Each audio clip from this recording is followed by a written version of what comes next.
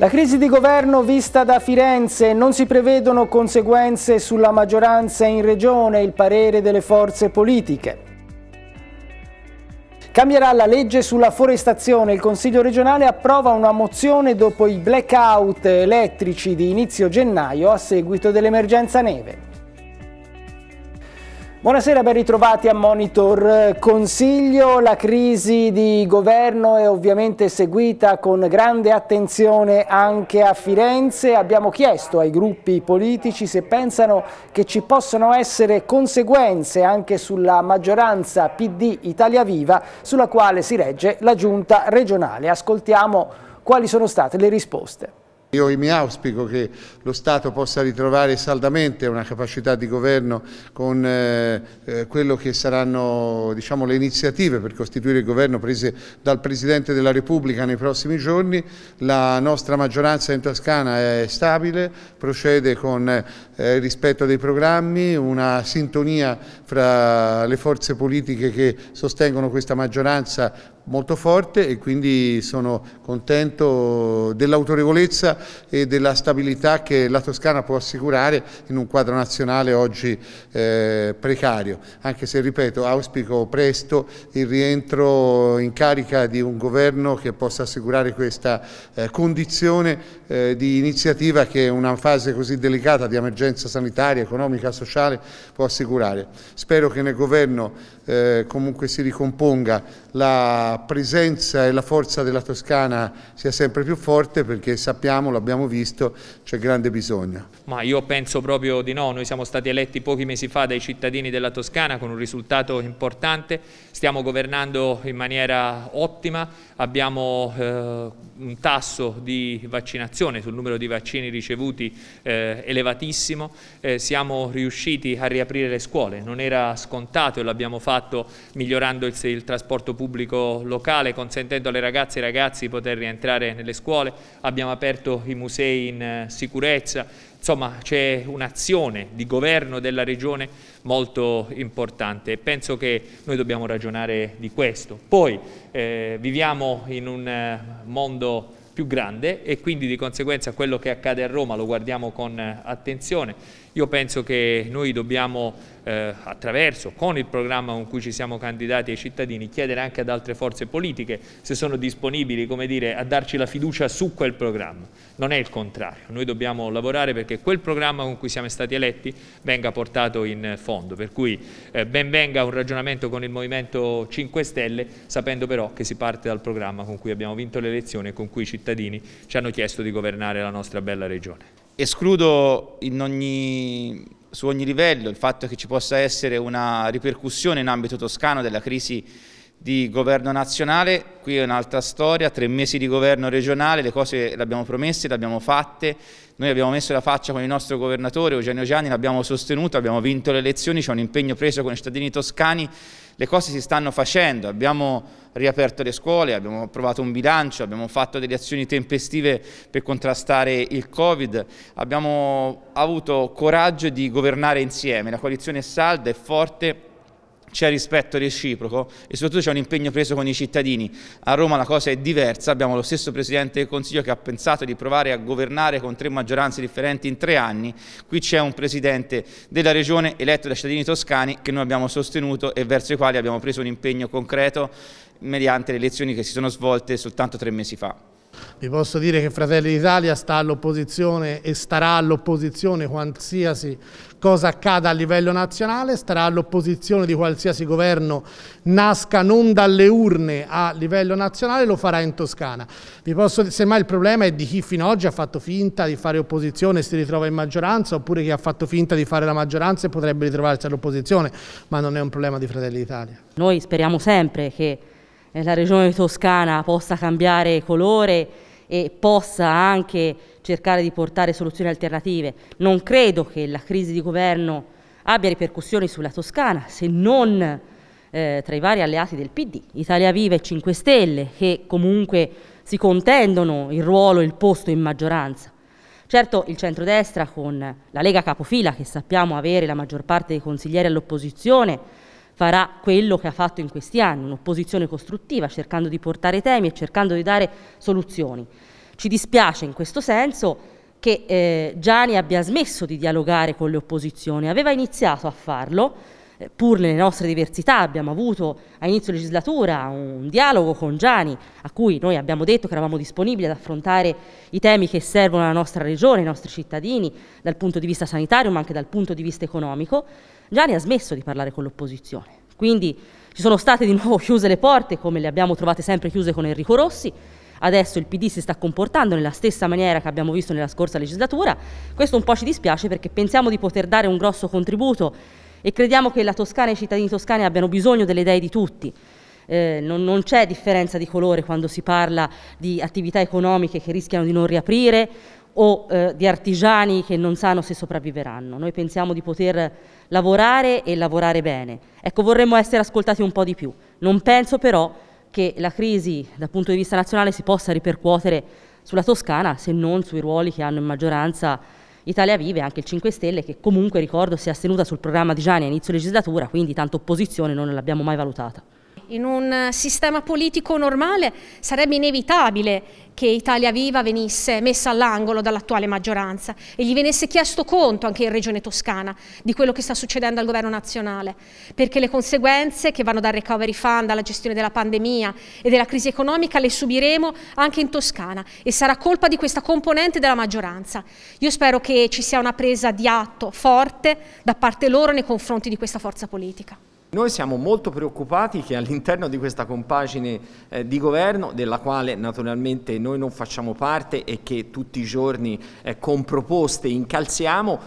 possa uscire Italia Viva e possa entrare il Movimento 5 Stelle portando il governo della Regione Toscana, il governo più a sinistra nella storia di questa regione. Naturalmente noi continueremo dal Consiglio regionale a portare le nostre idee, le nostre proposte, a fare un'attività incalzante di opposizione, ma credo che non interessi quello che noi denunciamo, credo che interessi ai cittadini quello che noi proponiamo a partire dall'abbattimento eh, delle tasse, da un piano vaccinale che preveda la vaccinazione immediata di alcune categorie, penso da un lato ai malati cronici che sono esclusi dalla prima fase vaccinale, malati oncologici, malati cronici, malati cardiopatici e dall'altro per esempio il personale eh, degli e dei docenti, il che consentirebbe per i nostri ragazzi di andare in estrema sicurezza a scuola, penso ai medici odontoiatri, sono stati esclusi ma che sono invece in prima linea, pensiamo alle forze dell'ordine, ecco questa è Forza Italia, una forza positiva, propositiva che porta le sue idee anche in Consiglio regionale. Ovviamente come abbiamo sempre detto non ci sono automatismi, sarebbe sbagliato, qui abbiamo una coalizione che si è presentata alle elezioni, ha presentato un programma, è stata premiata agli elettori e noi su quello ci misuriamo. Ovviamente eh, quello che succede a Roma eh, nel momento in cui ci sono divisioni non aiuta, ma eh, sarebbe eh, errato eh, cioè, eh, produrre degli automatismi e invece noi dobbiamo fare quello che auspico anche possa riprendere a Roma, concentrarsi sulla soluzione dei problemi dei toscani e della Toscana con due priorità, la salute ed il lavoro. Un argomento che ha tenuto banco nell'ultimo Consiglio regionale è stato quello della gestione dell'emergenza neve di inizio gennaio nelle province di Lucca e Pistoia. Nel corso della seduta del Consiglio è stata approvata all'unanimità una mozione che impegna la Giunta ad attivarsi affinché le misure di sostegno ai comuni coinvolti e alle popolazioni, sia di carattere nazionale che regionale, vengano assegnate ed elargite nel più breve tempo possibile. Ma soprattutto c'è l'impegno a intervenire per migliorare la manutenzione e la gestione dei boschi demaniali e per valutare una modifica delle norme regionali sulla forestazione per i tagli di manutenzione degli alberi presenti nelle aree di pertinenza di elettrodotti e di altre reti di servizio pubblico, oltre che della viabilità. Per primo sentiamo il consigliere che ha proposto il provvedimento, Mario Puppa del Partito Democratico. C'è in atto una procedura per la richiesta dello stato di emergenza nazionale che ristorerebbe i comuni delle risorse messe in campo per aiutare la popolazione e per eh, intervenire sui danni, soprattutto che anche in queste ore si stanno manifestando. Intanto io devo manifestare mio, la mia grande soddisfazione perché la mozione presentata eh, in Consiglio eh, è stata votata eh, da tutti i gruppi consigliari, è una mozione che impegna la Giunta su diversi fronti, intanto a costituire immediatamente un tavolo di lavoro con eh, le province, i comuni, con Enel e con le aziende di telefonia al fine di, di prevenire situazioni simili. E poi che c'è un intervento anche eh, importante perché si, si va a modificare la normativa forestale e punta, puntando a diverse azioni. Intanto la prevenzione di quella che è la situazione della viabilità, perché le piante hanno di fatto impedito anche ai mezzi, isolato il paese, i mezzi di intervenire, eccetera. Poi un'azione che vada appunto a cercare di prevenire quelli che sono i danni alle linee elettriche, un'altra azione, la terza, che in qualche modo intervenga per il dissesto idrogeologico e poi anche un'attenzione sul reticolo idraulico perché le piante cadendo sotto il peso della neve hanno poi eh, invaso i fiumi con il rischio logicamente di una eh, il formarsi di dighe pericolose poi a valle. Quindi questo è diciamo, un, un compito in parte anche affidato alla stessa Commissione Aria Interne che è stata costituita in seno al Consiglio, che avrà lì un compito specifico che è quello di definire anche attraverso la realizzazione di progetti pilota azioni che vadino un pochettino a migliorare quella che è la manutenzione del, delle foreste dei boschi della, della montagna toscana. Io ritengo che abbiamo svolto un'azione molto importante come protezione civile. Personalmente sono stato in Garfagnana proprio nel momento in cui nevicava, nei momenti più critici, eh, contemporaneamente l'assessore Monni era eh, su Allabetone. Eh, devo dire che possiamo eh, dire che la protezione civile regionale è stata essenziale nel contributo offerto alle zone più colpite. Eh, certo dobbiamo riflettere sul fatto che eh, le condizioni atmosferiche anche in questo mese di gennaio hanno generato tutta una serie di situazioni che ci portano a emergenza regionale eh, che comportano davvero un forte impegno. Pensate alle frane, pensate all'erosione sulla costa, eh, in questi giorni avrò numerose riunioni perché progetti strutturali che contrastino l'erosione cercheremo di porli anche attraverso il Recovery Fund, attraverso poi i fondi europei. Eh, ma la questione di dissesto eh, da un punto di vista delle aree interne come il mare eh, richiama eh, a definire questa come una questione prioritaria di impegno da parte della Regione Toscana. Eh, ai sindaci che mi hanno eh, sollecitato e chiesto interventi della Regione mi viene però da dire una cosa, eh, la Regione può intervenire, può trovare finanziamenti, può metterli nel Recovery Fund, ma eh, occorrono questi progetti, almeno i progetti da parte dei comuni è bene che vengano fuori.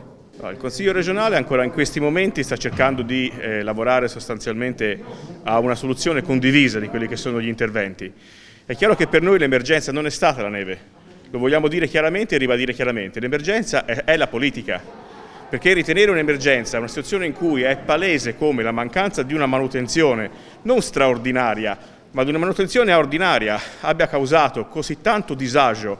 permanente durante una, eh, fra virgolette, quella che si può definire un'emergenza atmosferica, ma che una volta era ben, ben, sopportabile sostanzialmente per come si verificava anche nelle nostre zone montane, beh, non può essere chiaramente ridimensionata anche all'interno delle grandissime relazioni che ci hanno illustrato in Consiglio regionale. Quindi è chiaro che noi siamo d'accordo nel rivedere urgentemente quei dispositivi normativi che vanno a, aumentare il livello di correzione sotto il profilo della manutenzione da riportare sul territorio, però non nascondiamoci, questa volta l'emergenza e la mancanza si è sentita sotto il profilo politico, non soltanto per un'esigenza di carattere atmosferica. L'assessore ha fatto una relazione molto dettagliata, siamo a 4,2 milioni di euro di danni e sono ancora in corso le quantificazioni, danni naturalmente diretti che si aggiungono al danno più generale di una stagione incredibile dove la neve da risorse è diventato un problema per la stragrande quantità ma anche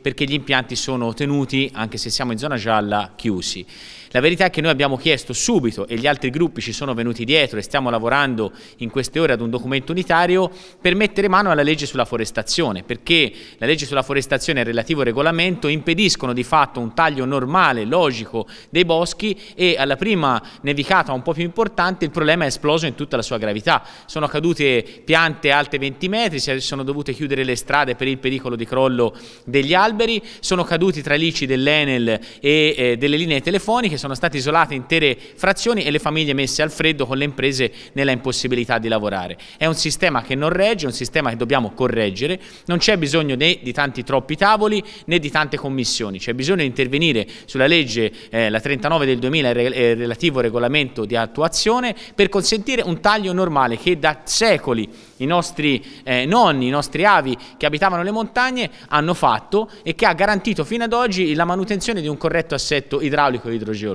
Se questo non viene fatto, la montagna purtroppo è destinata a morire. Una vicenda che ci deve insegnare alcune cose rispetto alle quali noi dobbiamo fare passata l'emergenza, per la quale voglio ringraziare i Vigili del Fuoco, il personale dei comuni e la colonna mobile della protezione civile regionale per lo straordinario lavoro che hanno fatto e stanno facendo, però ci sono alcune questioni sullo sfondo da affrontare. Penso alla questione della eh, autonomia dei ripetitori di telefonia mobile, in caso di blackout alcuni hanno un'autonomia solo di 24 ore e questo significa che poi ci troviamo a problemi ancora più gravi per le popolazioni in caso di blackout, così come il tema della fascia di rispetto dalle linee elettriche, probabilmente sulla quale è un tema su cui occorre intervenire, visti i blackout che si sono caratterizzati anche in queste ultime settimane e così anche la questione della, eh, del, albe, delle alberature attorno alle strade. Una questione tutta aperta c'è con ANAS rispetto alla statale 12, ho chiesto all'assessore Baccelli di convocare ANAS perché eh, sia sul lato lucchese che pistoiese la statale 12 è continuamente soggetta a frane, a interruzioni. Insomma, una emergenza che una volta superata ci deve però mantenere l'attenzione su questi e su altri temi. È tutto per questo appuntamento con Monitor Consiglio, vi ringrazio per l'attenzione e vi auguro una buona serata.